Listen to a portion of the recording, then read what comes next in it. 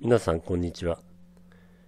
視聴者の方からリクエストが来てしまいましたのでやむなくオリーブを取り上げます。来てしまったというのも失礼なんですがオーデマリーとかソヨゴなど同様に枝分かれの角度が鈍角な樹種は剪定がしにくく私は苦手です。なので正直あまり取り上げたくない材料なんですがまあそうも言っていられないので解説していきます。この枝分かれの角度が妙に鈍角ですよね。隣にあるツゲの木ですけれどもこのような角度に枝分かれしていると割と剪定しやすいんですがまずは後でお見せする現場から出た枝ごみを使って相手にしない方が良い枝とそういう枝を作らないために剪定を打つ先読み剪定についてお話しします。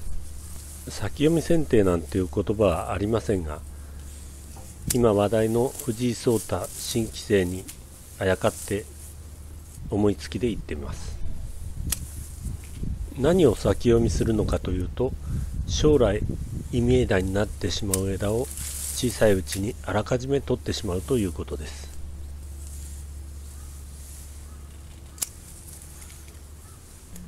この部分などは強烈な交際枝ですよね。意味枝の代表格です。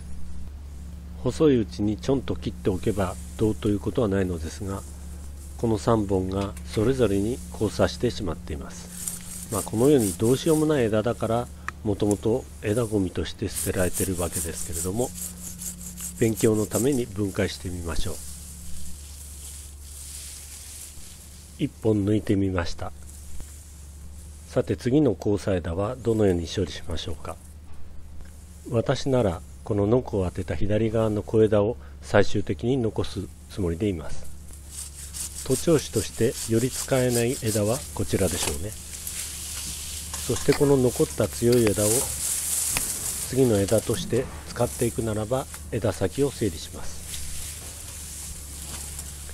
剪定してみますがちっとも良くならないということが分かってくれれば良いのです。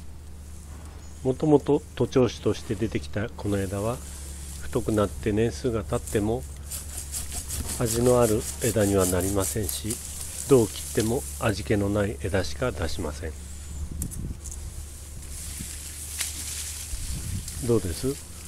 こんな枝ぶりちっとも良くないでしょう。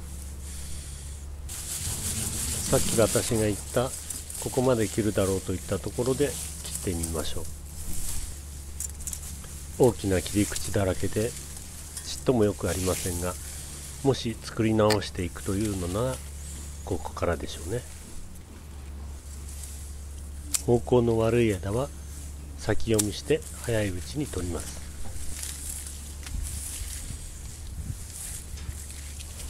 不要な枝は方向の良い枝に切り戻します。不要な枝は付け根から完全に切り取ってください。切り残しをするとそこから芽が吹いてしまい逆効果です。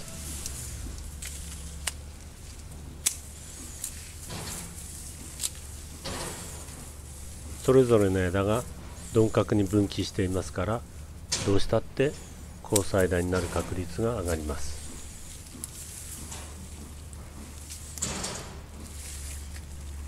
輪郭を小さくしたい時は小枝のあるところでこのように切り戻します。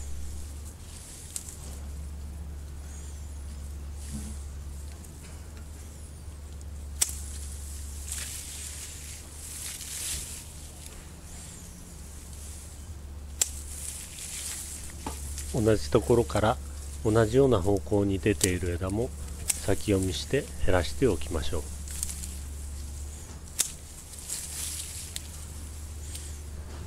でもこのような徒長枝から派生したような枝を相手にしていてもいつまでたっても良い格好にはなりません。それだけは言っておきます。やっぱりこう作って使えませんよね。ほい。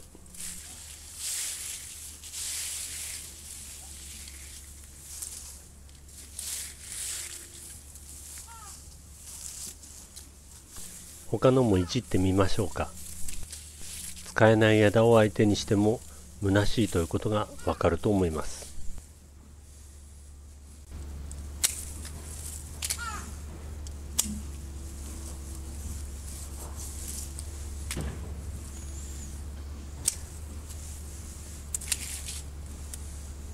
ここは平行枝ですね。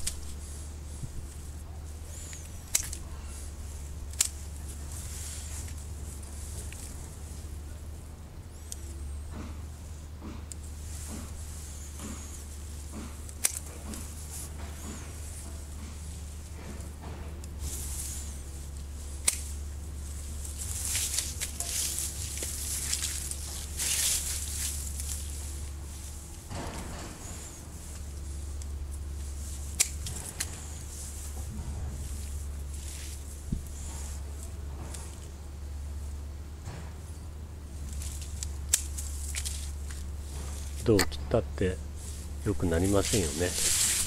ほい。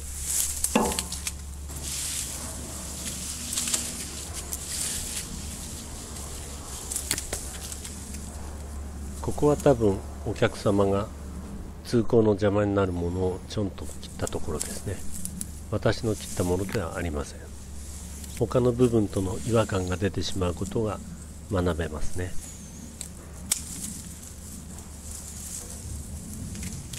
やはりどうにもなりませんな。でもこのようにゴミをいじるということも大事なことなんです。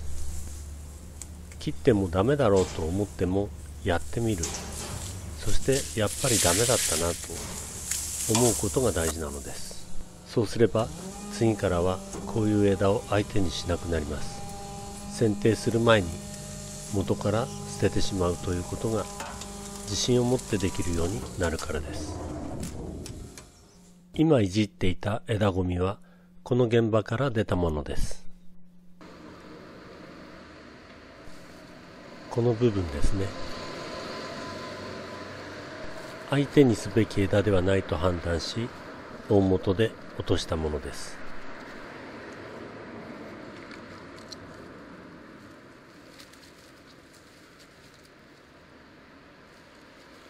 ごつくなってしまいますが一旦ここで切って枝を作り直そうと思います。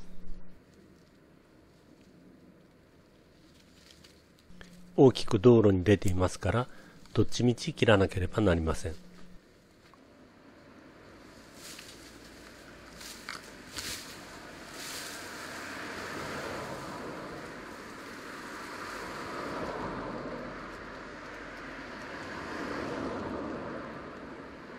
この塊が先ほどの練習台となったわけです。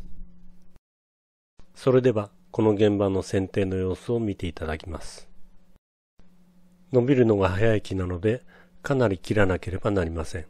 3年前にはこんなに小さい木があんなに大きくなってしまうんですからね。冬にここまで剪定しても翌年の夏にはここまで戻ってしまいます。やはり年1回の定例では大きさを維持できないように思います。もう少しこまめな剪定が必要なのではないでしょうか。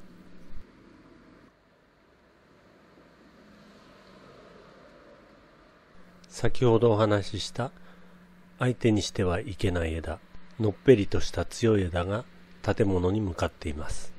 こういう枝を途中で詰めてもまた強い枝が出ますのでもっと勢いの弱い枝に切り戻します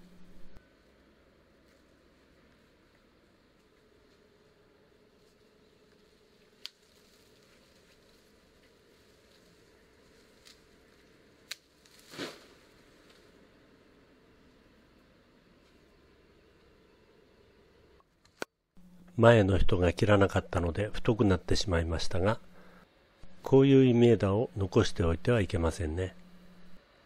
明らかな平行枝ですし土地押しです。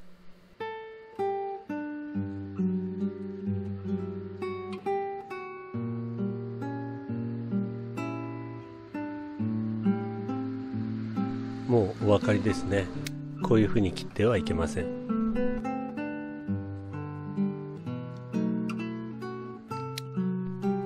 枝のあるところで切ればよいのかというとそれも違いますよね。これ自体が相手にしてはいけない枝。もっと弱い枝に切り戻しておかないとすぐに元に戻ってしまいます。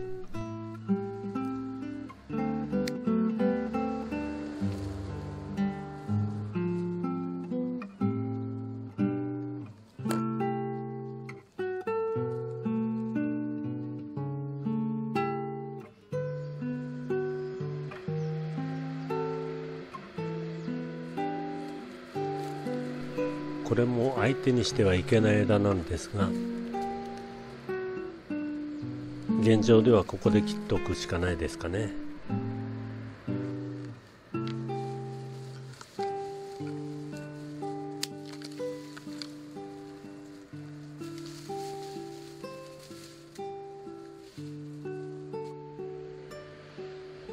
細い枝の切り詰めはこうなってしまうのはしょうがありませんね。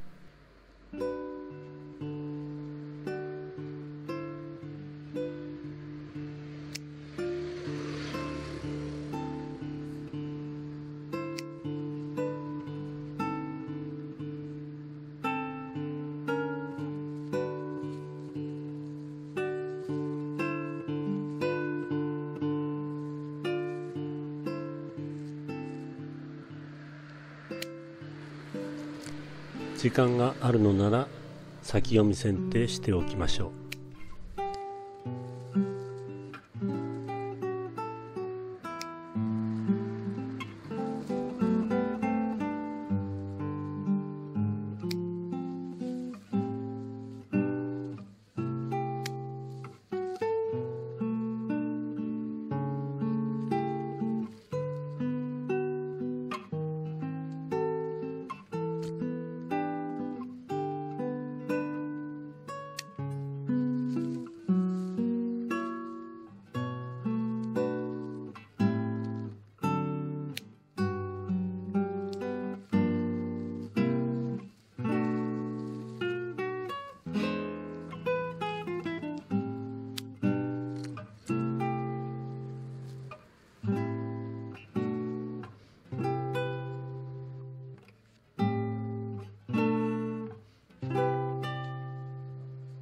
太い切り口には融合剤を塗っておきましょう。